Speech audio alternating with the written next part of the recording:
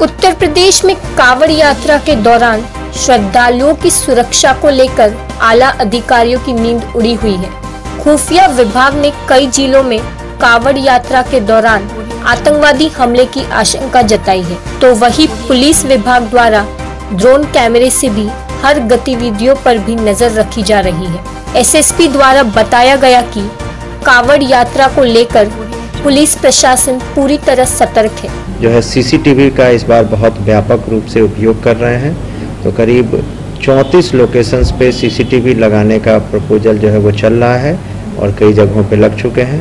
हम अन्य ऑर्गेनाइजेशन की मदद से भी कोशिश कर रहे हैं कि जो रूट है हमारा, वो रूट कम्प्लीटली कवर हो। साथ ही साथ जहाँ भी भीड़ भाड़ वाले इलाके हैं, वो सभी सीसीटीवी के अंतर्गत कवर्ड होंगे। इसके अलावा जो हमारे पुलिसकर्मी सादे वस्त्र में भी और जो इंटेलिजेंस के लोग हैं, वो सादे वस्त्र में हमारे पूरे रूट पर और पूरे इम्पोर्टेंट जगहों पर भी स्थापित किए गए हैं, जहाँ से हमें सूचनाएँ मिलती रहेंगी। ड्रोन कैमरा हमारा, हमारे जनपद में एक उपलब्ध है।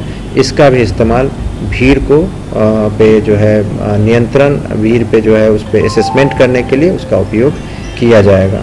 यात्रा के लिए सुरक्षा योजना तैयार की जा चुकी है। यात्रा के मद्देनजर सहारनपुर में लगभग 34 जगहों पर सीसीटीवी कैमरे लगाए गए हैं।